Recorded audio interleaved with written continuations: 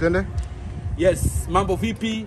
Shwari Tanzania, shwari Afrika, shwari dunia. Naitwa Sudi Brown, Mbeya wa kimataifa, rais wa Mbeya. Dakika chache zilizopita nimetoka kwenye kipindi cha wazee wa Mbanga, umeona mimi na mwenzangu DC wa Insta, na stori ya mwisho ambayo tulikuwa tuna tuko nayo kwa siku ya leo ilikuwa ni kuhusiana na ndugu yetu uh, anaitwa Yusufu. Professionally yeye ni mwalimu na bahati mbaya um, mwaka huu mwezi wa sita akapitia changamoto ya kukatwa mguu umeona? Na uh, kukatwa kwake mguu kumelet, kumemletea changamoto ambayo hawezi kuendelea ku, ama kuifanya vizuri kazi yake ya ualimu kiasi cha kwamba sasa hivi ana miezi miwili yuko ndani na Yusufu alikuwa ametutembelea uh, kwa ajili ya kutujadili ni namna gani anaweza akapata mguu ambao una thamani ya shilingi milioni moja na nusu lakini kuna uh, gharama fulani za karibu shilingi laki nne na mpaka laki tano zinatakiwa pia kwa ajili ya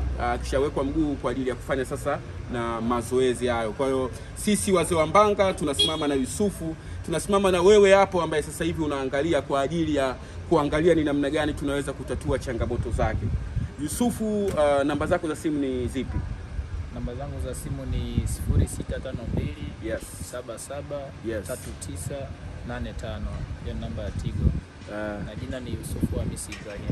namba nyingine uh, Pia kuna voda ya 0753 519 716. Jina ni Eh. lile lile Yusufu Hamisi Ibrahim. yes. Yeah. Uh, leo hii ukienda ukiwa umekaa sasa peke yako, wewe tafakari, siku moja ukiwa huna mguu utafanyaje shughuli zako? Itakuwaje kuwaje? Umeona bwana, na uh, hiyo na- namaanisha ujiulize hivyo, ndipo ambapo utapata jibu kuwa uh, kumbe utahitaji um, msaada kutoka kwa watu ili uweze ku uh, labda kupata mguu mwingine au kuweza kupata huduma zile nyingine. Kwa hiyo changamoto ya Yusufu ni changamoto yetu, ni changamoto yako, ni changamoto yangu. Tujaribu kushiriki naye katika hali hii. Yeye anataka mguu tu ili aende akaendelee na kazi yake ya ualimu. Ni mwalimu mzuri sana Yusuf, ametuelezea yeye ni mwalimu bingwa katika masomo ya hesabu na amesaidia watoto wengi kuweza kupata akili za, akili za kupasua mitihani darasani na kuweza kwenda katika mpaka kwenye shule za vipaji maalum. Kuna wengine wako vyuoni sasa hivi ambao Yeah, yeah. Sawa sawa, zungumza na Watanzania bana. Mi ni maneno yangu ni machache.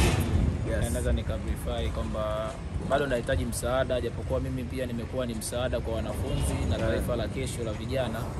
Kwa kitu kikubwa nachopambania ni mguu, napambania mguu niweze kupata mguu, kwa sababu bado wanafunzi wanahitaji msaada kutoka kwangu, na kama nilivyosema, somo langu ni gumu sana ukiliangalia, wenyewe wanaita ni ugonjwa wa taifa, lakini nashukuru kwamba nalifundisha vizuri na napata sifa nzuri na na I'm proud for that kwa sababu wanafunzi wengi wako form 6 wengine wana enjoy na bado wanatumia maarifa yangu. Kwa naomba Watanzania wanisapoti nipate mguu bandia niweze kusimama ubaoni Kwa nguvu za Mungu utaupata mguu inshallah. inshallah. Amina.